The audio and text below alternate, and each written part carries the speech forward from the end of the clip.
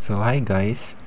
So welcome sa ating panibagong video tutorial at ngayon sasagutan natin itong problem na related sa subject na dynamics. Okay, so yung problem natin, a heavy ball is dropped into a lake from a height of 25 meter above the water. It hits the water with a certain velocity and continues to sink at the same velocity. It reaches the bottom of the lake 12 seconds after it was dropped. Then we will going to find how deep is the lake. Okay? So may sagot tayo na yung deep is 215.6 meter. Okay? So paano natin yan nakuha? So yung gagawin ko lang is show kung paano na-derive yung sagot na 215.6. So first of all, kailangan muna natin isulat yung given. So ito yung given. So mapapansin nyo, nilagyan ko ng stage 1. So yung stage 1, yung minimin lang nito, yan i-drop yung ball at yung ball ay magta-touch sa upper surface ng ating lake. So kailangan muna natin mahanap yung, yung final velocity ng ball after or before it touches the upper surface of our lake. Kasi dito sa problem, it hits the water with a certain velocity and continues to sink at the same velocity. Meaning, kapag mahanap natin yung certain velocity na to, which is yung yung required o yung hinahanap, that is the certain velocity which is final velocity ng ating ball as it touches the surface of water. So we're going to find that. Then kapag mahanap natin yung final velocity, yan din yung magiging initial velocity natin sa stage 2. Where in yung stage 2, yung ball is continue to sink at the same velocity. Meaning, yung sagot dito, yan din yung gagamitin nating initial velocity which is yung ball magta-travel pababa sa lake until it touches the surface of the ground. Okay? So, mamaya maintindihan natin yan. But for now, kailangan muna natin isolve yung final velocity ng ball after it drop 25 meter above the lake. So, solution. So, yung solution, um, we have VF, which is final velocity squared, is equals to initial velocity plus 2AD. Okay? So, yung D natin, yan yung distance ng ball above our sea level. So, i-ignore nyo muna yung sa baba at dito muna tayo mag-focus sa stage 1. Okay? So, dito muna tayo mag-focus. So, as you notice, negative 25 yung uh, value ng ating displacement. Kasi, it is in vector uh, vector quantity. So, meaning, uh, magkaiba siya sa distance wherein yung distance, absolute value siya ng displacement.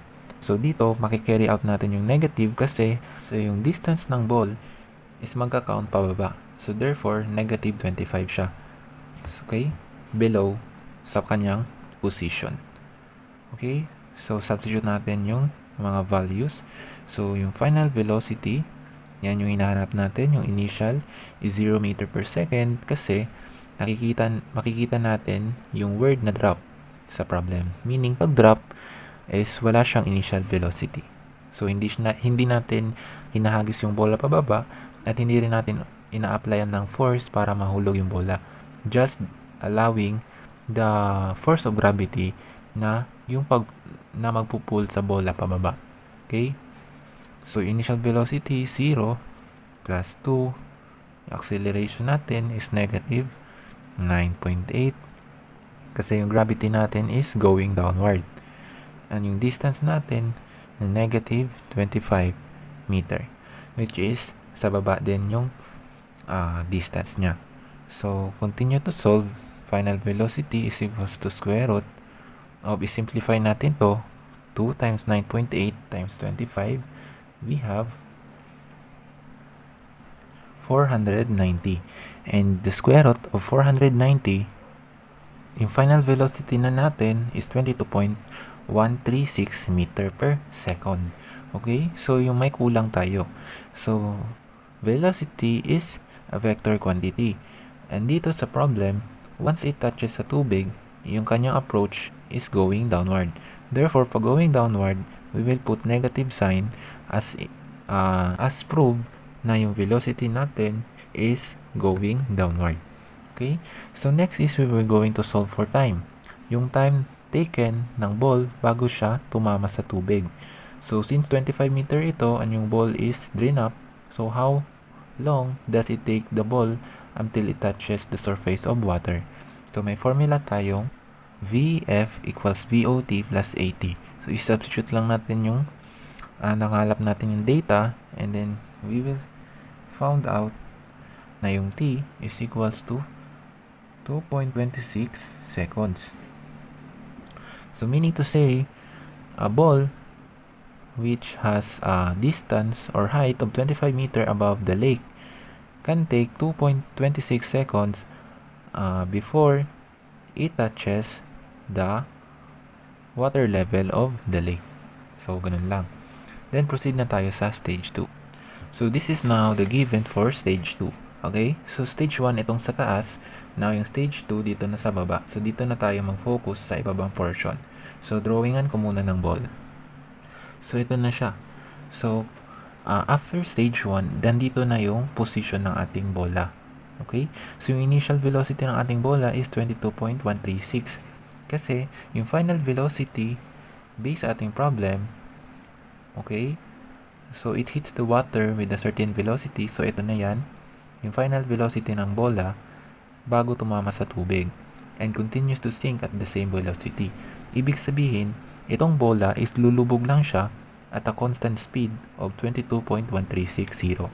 Therefore, pag constant speed, yung acceleration natin is magiging 0. Okay? So, kung marirecall natin sa ating past lesson, 0 lang yung acceleration pag object is at constant speed or hindi gumagalaw. Okay? So, next given, and na, then yung time, As you notice, 12 minus 2.26. So, bakit nag 12 minus 2.26?